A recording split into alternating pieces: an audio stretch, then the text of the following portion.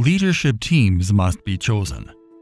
Jesus made a conscious decision to choose each of the 12 disciples to serve on his staff. He did not put the matter up for a vote. Rather, he decided the personnel matters himself.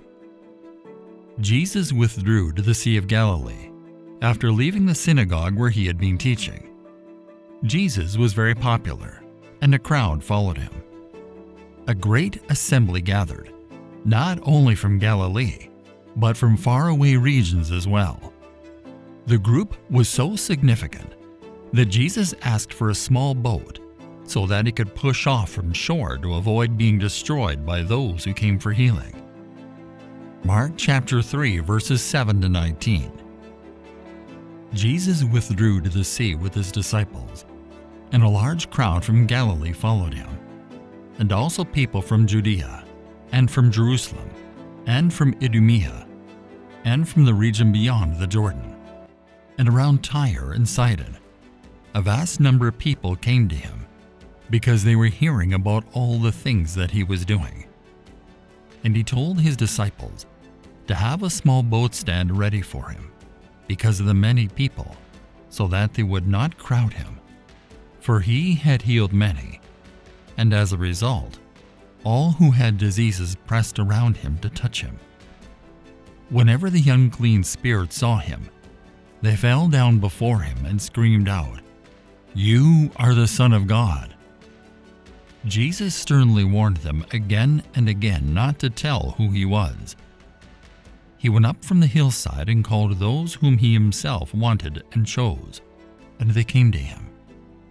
And he appointed twelve disciples, so that they would be with him for instruction, and so that he could send them out to preach the gospel as apostles, that is, as his special messengers, personally chosen representatives, and to have authority and power to cast out demons.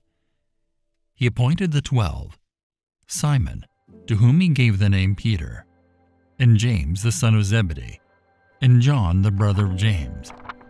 To them he gave the name Boanerges, that is, sons of thunder.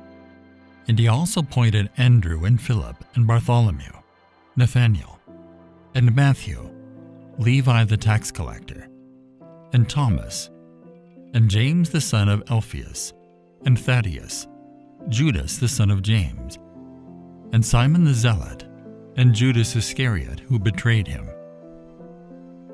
As Jesus invites those he wanted to come with him, the massive crowd becomes smaller. Jesus appointed twelve from among those who came to him at that time.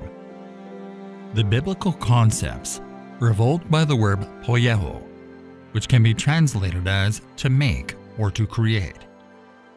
The Lord appointed Moses and Aaron to rule Israel, and Moses appointed able men as heads over the people to serve in those roles.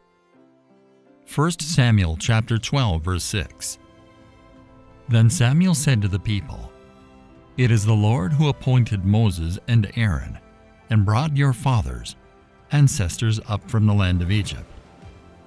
Exodus chapter 18 verse 25 Moses chose able men from all Israel, and made them heads over the people leaders of thousands, of hundreds, of fifties, and of tens, from the highest to the lowest judicial levels.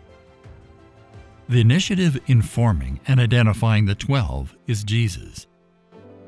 Isaiah chapter 43, verse 1. But now, this is what the Lord your Creator says O Jacob, and he who formed you, O Israel, do not fear for I have redeemed you from captivity.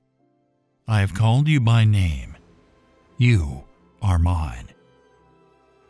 The twelve are symbolic of the restoration of the twelve tribes of Israel, and Jesus stands over them as their leader. The selection of the twelve implies a rejection of the powers that be in Jerusalem. The names of the twelve give us few hints about their status, upbringing, or religious instruction. But Jesus gives the first three memorable nicknames. Simon is given the name Peter, Petros, which means rock, and James and John, who were previously introduced as Zebedee's sons, are dubbed the sons of thunder. One can only speculate what occasioned these names, or what they reveal about these men, their character, their faith, or their future roles. Judas is named as the betrayer, a title bestowed on him by the church rather than Jesus. The twelve had a dual mission. Matthew's Gospel concludes with Jesus' pledge to be with his disciples until the end of the age. Matthew chapter 28 verse 20. Teaching them to observe everything that I have commanded you. And lo, I am with you always, remaining with you perpetually, regardless of circumstance, and on every occasion, even to the end of the age. By contrast, Mark stresses the disciples' task of being with Jesus. Mark chapter 3 verse 14 and he appointed twelve disciples, so that they would be with him for instruction, and so that he could send them out to preach the gospel as apostles, that is, as his special messengers, personally chosen representatives. What does this imply? Most importantly, it designates the twelve as witnesses to his ministry, having learned from him and being qualified to pass on and authenticate the traditions concerning him. Luke chapter 1 verse 2. Exactly as they were handed down to us by those with personal experience, who from the beginning of Christ's ministry are witnesses and ministers of the word, that is, of the teaching concerning salvation through faith in Christ. Although there are 12 disciples, Jesus appeared to have an inner circle. An inner circle of Peter, James, and John accompany Jesus at pivotal moments in the Gospel. When he raises Jairus' daughter from the dead, when he is transfigured on the mountain, and when he prays in Gethsemane. Mark chapter 9 verse 2 Six days later, Jesus took with him Peter and James and John, and led them up on a high mountain by themselves. And he was transfigured, changed in form before them and began to shine brightly with divine and regal glory. Mark chapter 5 verse 37. And he allowed no one to go with him as witnesses, except Peter and James and John, the brother of James.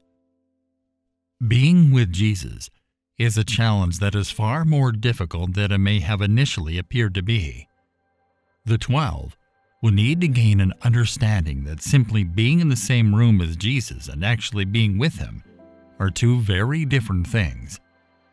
The latter indicates that they are obligated to follow him wherever he goes and take part in the labor that is associated with the ministry, as well as the harassment that is caused by the crowds and the same bitter draft of suffering.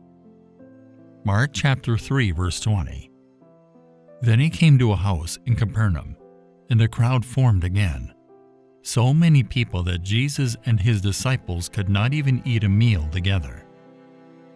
Mark chapter 10 verse 39. And they replied to him, We are able. Jesus told them, The cup that I drink, you will drink, and you will be baptized with the same baptism with which I am baptized. Another reason for the creation of the twelve is that God requires human collaboration in order to touch, enlighten, and heal other people. The second assignment for them is to carry out the commission given to them by Jesus, to carry on his work by preaching and driving out demons. Their friendship with him is intended to result in them performing acts of service that are of benefit to other people. They are not just on the receiving end of this outbreak of power, but are to become canals by which it touches others. We should point out that the task of preaching and exorcising demons was not limited to the twelve in Mark. It was instructed to the cured Gerasene demoniac to go back to his family in Decapolis and to preach to them about what the Lord had done for him. Mark chapter 5 verses 19 and 20. Jesus did not let him come, but instead he said to him, Go home to your family and tell them all the great things that the Lord has done for you, and how he has had mercy on you. So he obeyed and went away, and began to publicly proclaim in Decapolis, the region of the ten Hellenistic cities, all the great things that Jesus had done for him, and all the people were astonished. One is remembered only as a man who does not follow the disciples, a reporter to be victorious in casting out demons in Jesus' name. Mark chapter 9, verses 38 and 39. John said to him, Teacher, we saw someone casting out demons in your name, and we tried to stop him because he was not accompanying us as your disciple. But Jesus said, do not stop him, for there is no one who will perform a miracle in my name and be able soon afterward to speak evil of me. The special function of the twelve that is not granted to others is to be with Jesus. Mark chapter 5 verses 18 and 19. As he was stepping into the boat, the Gentile man who had been demon possessed was begging with him asking that he might go with him as a disciple. Jesus did not let him come, but instead he said to him, Go home to your family and tell them all the great things that the Lord has done for you and how he has had mercy on you. Note what we learn about team building from Jesus' selection of the twelve. Number 1. Selection. He handpicked them. He prayed all night about it. Luke chapter 6 verse 12. Number 2. Motivation. He selected the ones he personally wanted. There was chemistry. Number 3. Connection. He chose them to be with him. He modeled life in close proximity. Number 4. Permission. He released them and gave them specific assignments. Number 5. Commission. He empowered them and gave them authority to do their job. As leaders, we can only lift others up when we're standing on a firm foundation. Purpose, sincerity, and humility provide us with a strong and stable foundation from which to lead. The answer to the question, Why do you wish to lead? is found in your purpose.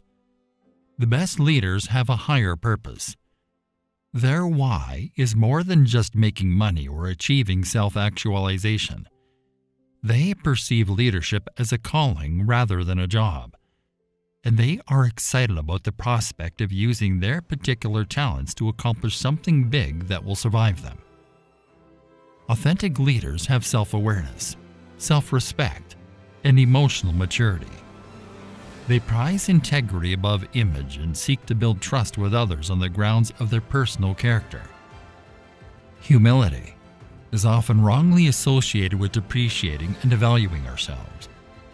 However, true humility flows out of gratitude and comes when we credit God for our blessings and others for our successes.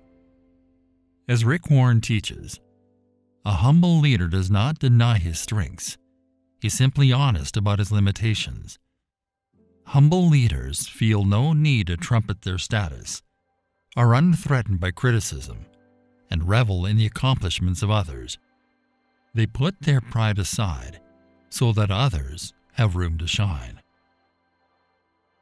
Our question for the day What book of the Bible is your favorite?